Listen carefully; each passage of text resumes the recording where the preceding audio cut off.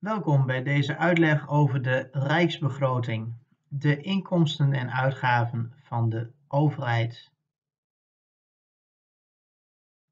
De Rijksbegroting is, zoals gezegd, de begroting van de overheid. Het is een overzicht van de verwachte inkomsten en uitgaven.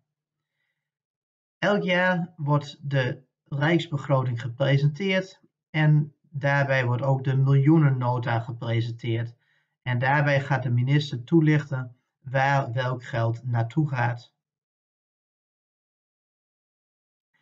Hier zien we de miljoenennota van 2018. Zoals je ziet zijn de inkomsten 284,5 miljard en de uitgaven 276,7 miljard. In dit geval werd er een overschot verwacht van 7,8 miljard. De inkomsten zijn groter dan de uitgaven. Als we een kijkje nemen naar de miljoenennota van 2016, dan zien we dat er een tekort is. De inkomsten zijn 253,5 miljard en de uitgaven, de verwachte uitgaven, die liggen hoger, namelijk 262,1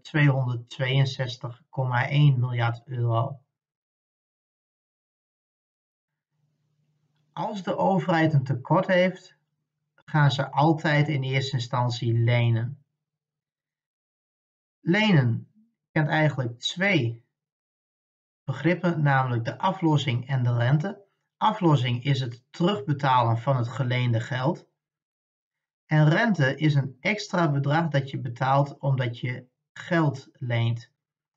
Rente is dus eigenlijk de prijs van lenen. Stel je voor dat de overheid nu een tekort heeft en ze zouden gaan lenen, dan zou in de toekomst dat tekort kunnen oplopen.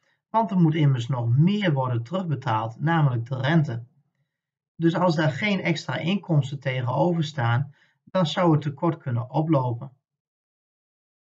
Als we praten over de schuld van de overheid, dan praten we van een publieke schuld. Het is publiek geld uh, en daar is eigenlijk tekort in, dus zij lenen.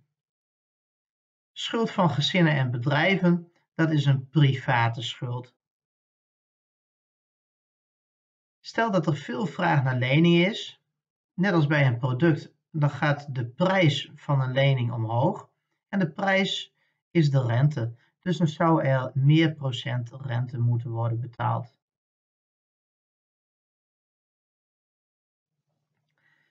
Als we een blik werpen op de inkomstenzijde, kunnen we directe en indirecte belastingen onderscheiden. Directe belastingen worden direct door de gezinnen en bedrijven betaald. Dus dat gaat direct van hun inkomsten af, bijvoorbeeld de inkomstenbelasting. Jij krijgt het niet op je rekening overgemaakt, want het wordt er gelijk van afgehaald. Het geldt, hetzelfde geldt voor bijvoorbeeld winst van bedrijven, wordt er ook van afgehaald de vennootschapsbelasting.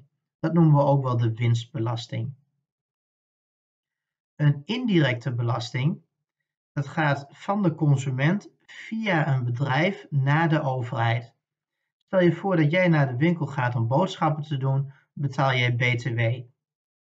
Die BTW betaal jij eerst aan het bedrijf en dat bedrijf geeft het vervolgens aan de overheid. Eigenlijk betaal jij dit aan de overheid. Maar omdat het via het bedrijf gaat, noemen we dat indirecte belastingen. Accijns is ook een indirecte belasting. Accijns is een extra belasting op een product waarvan de overheid het gebruik wil afremmen of uh, niet duurzame producten. Daar moet ook accijns op worden betaald om bijvoorbeeld weer gezondheidsmaatregelen te kunnen nemen of milieumaatregelen. Nou, wat, waarbij moet je daaraan denken? Accijns is een extra belasting bijvoorbeeld op rookwaren, op benzine. Dat soort voorbeelden kun je aandenken. Uh, premies volksverzekeringen en premies werknemersverzekeringen. Uh, je betaalt niet alleen inkomstenbelasting, maar je betaalt ook van je inkomen een stukje premie. En die premies die worden er weer gebruikt om bijvoorbeeld uitkeringen te betalen.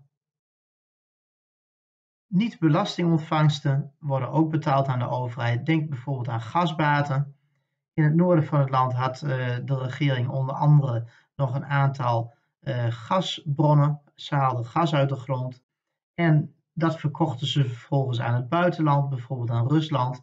En daar hadden ze nog een stukje inkomsten mee. Dat wordt steeds minder. Boetes, stel je voor dat jij te hard rijdt of je hebt geen licht op je fiets. Die boetes die komen ook binnen bij de overheid. Vormt een heel klein deel van de inkomsten van de overheid. Al die inkomsten, die heeft de overheid ergens voor nodig. Want zij willen graag dat bijvoorbeeld zaken als de zorg, het onderwijs, dat het allemaal gefinancierd kan worden. Daaruit wordt het dan ook betaald. Als we even terugkomen op de premies. Vanuit de premies wordt de sociale zekerheid en arbeidsmarkt gefinancierd. Daarbij moet je denken aan uitkeringen. Uitkering van iemand die bijvoorbeeld werkloos is geraakt of een uitkering voor iemand die invalide is geworden. Zij krijgen een uitkering vanuit die premies. De rest van het geld wordt onderverdeeld in allerlei andere posten. Denk bijvoorbeeld ook aan de defensie, ons leger, eh, infrastructuur, het onderhoud van de wegen. Nou, dat soort zaken zou je allemaal aan kunnen denken. Inkomsten en uitgaven van de overheid.